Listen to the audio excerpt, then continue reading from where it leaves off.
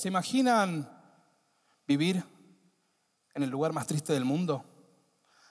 ¿Se imaginan vivir en un mundo donde no exista la felicidad?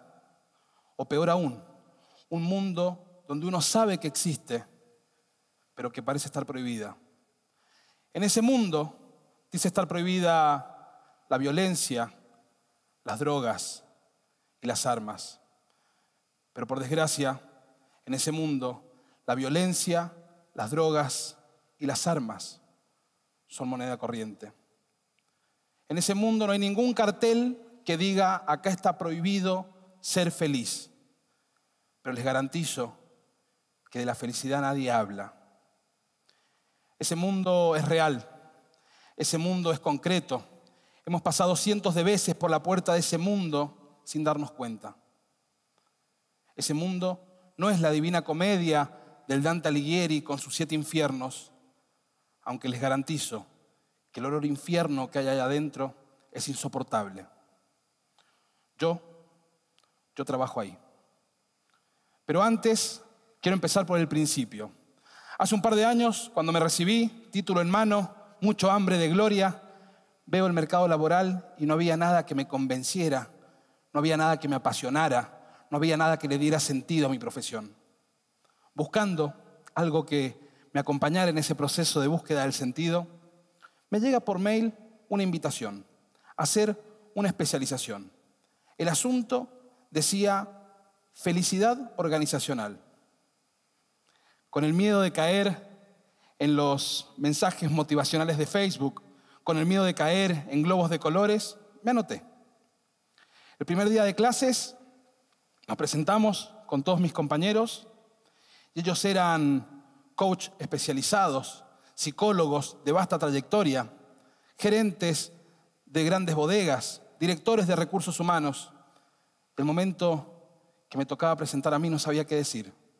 Y ahí surgió de mí decir, vengo a estudiar esto porque trabajo en el lugar más triste del mundo. Yo trabajo con personas privadas de libertad, trabajo en la cárcel, ahí donde queda tirado y olvidado lo que ya no queremos ver como sociedad.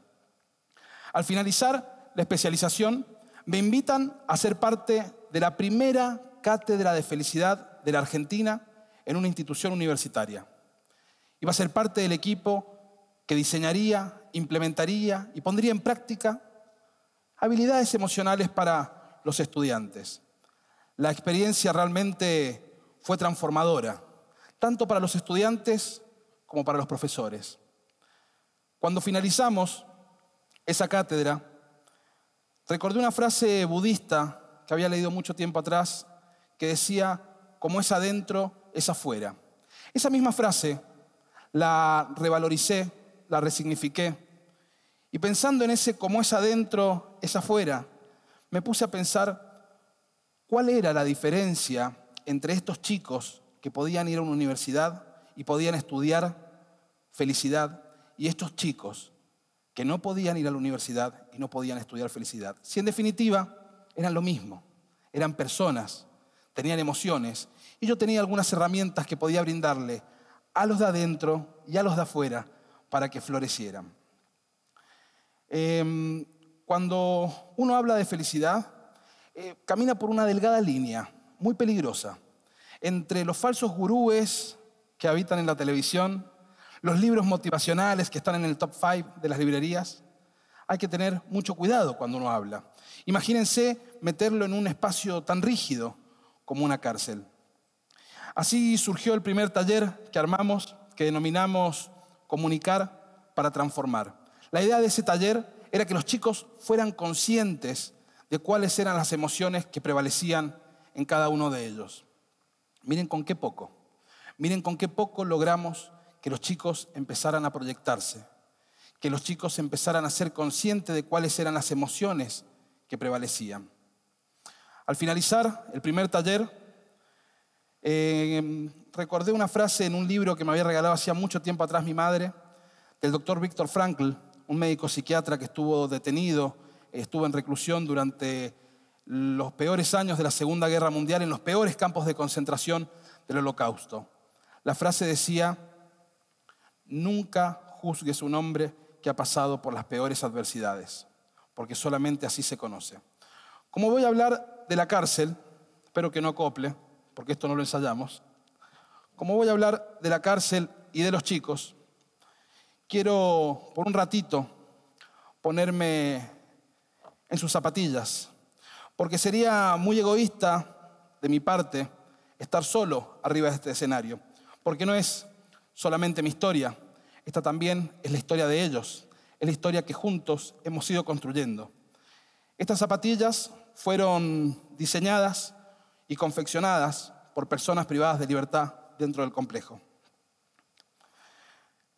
Cuando terminamos ese taller, decidimos implementar algunas herramientas más y decidimos buscar entre todos cuáles eran las emociones fundamentales que ellos veían que no podían faltar.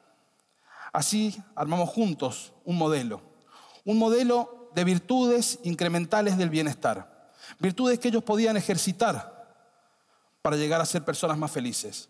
Porque siempre que uno habla del tema felicidad, la primera pregunta que surge es, bueno, ¿qué es la felicidad?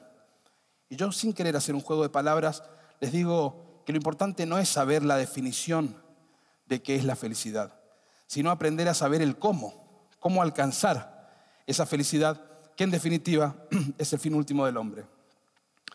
Armamos el modelo este de virtudes incrementales del bienestar que denominamos regar. Les quiero contar de qué, se trata regar. Regar son cinco virtudes. La primera, relaciones saludables.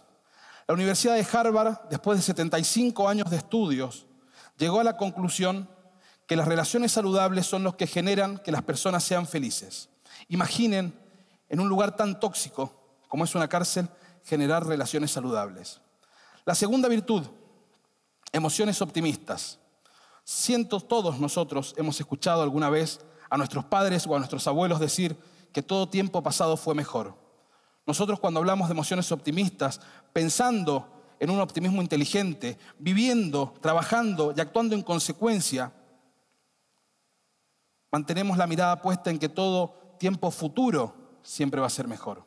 Y tengo ejemplos para contarles por qué creo y por qué creemos que todo tiempo futuro siempre va a ser mejor. Hace casi 700 años, la peste negra diezmó a la población europea. Hace 10 años, HIV era sinónimo de muerte. Hace solamente un año se dejaron de necesitar corazones humanos para hacer un trasplante de corazón. Si pensamos todos estos ejemplos y los miles que pueden surgir, ¿por qué vamos a seguir pensando que todo tiempo pasado fue mejor? La tercera virtud de este modelo regar es la gratitud. Según Cicerón, la madre de todas las virtudes. No es casual que las principales religiones de Oriente y las principales religiones de Occidente tengan en sus escrituras el tema de la gratitud. Ser agradecido de los que nos toca vivir, en el entorno que nos toca vivir y con la gente que decidimos vivirlo. La cuarta virtud, la apreciatividad, una palabra nueva. Apreciativo, lo que no tiene precio. Es una, yo lo defino como una mirada deliberada y objetiva. Aprender a ver lo particular por sobre lo general. Ver lo valioso y significativo de las cosas, las personas y las circunstancias. Y por último, resiliencia, una palabra que en lo personal me encanta, pero que estamos y la hemos escuchado prácticamente hasta el hartazgo. Videos de YouTube, tutoriales, películas, libros, libros de autoayuda, motivacionales. Todo el mundo habla hoy de la resiliencia. Nosotros definimos dentro de este modelo la resiliencia como la fuerza motora para la transformación humana. ¿Suena bonito? Ok. El ser humano eh, no le alcanza lo metodológico y lo discursivo. Ver para creer. Imaginen ese lugar donde habita la oscuridad.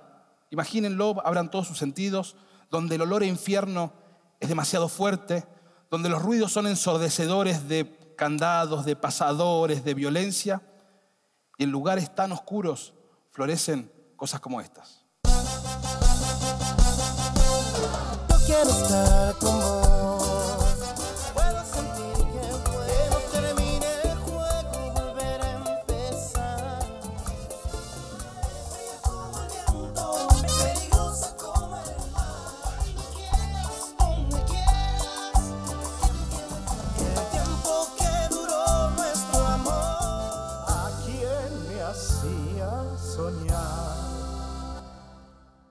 Que acaban de escuchar es Conducta Calle, una banda musical formada por personas privadas de libertad. Una banda que ha convocado a las principales figuras de la música nacional, latinoamericana y popular. Lo último que escuchaban es Víctor Heredia. Detrás de Víctor Heredia viene gente como Piero, como Alejandro Lerner, como Facundo Toro, como Capanga, que se han sumado a este proyecto entre más de 25 artistas que van a grabar con los chicos en el 2019. Conducta Calle fue declarada de interés legislativo por la Cámara de Diputados. Está proyectado en el 2019 a ser un documental. Eh, ha generado gran impacto ya logrado que se empiecen a romper las cadenas, que se empiecen a caer los muros de la cárcel, porque la sociedad en su conjunto se ha interesado en lo que se está haciendo adentro. Eh, quiero traer a colación una frase de la Madre Teresa que me sirvió mucho para trabajar en ese contexto. La frase de la Madre Teresa dice, nunca le quites la posibilidad a alguien de que tenga esperanza, porque quizás sea lo único que tenga. Yo los quiero invitar a que dejen de buscar culpables, que si tu pareja, no veo, que si tu mujer, que si tu papá, que si tu mamá, que si, gracias, que si tu jefe, que si tu barrio, que si tus amigos, que si naciste en una villa o naciste en un country.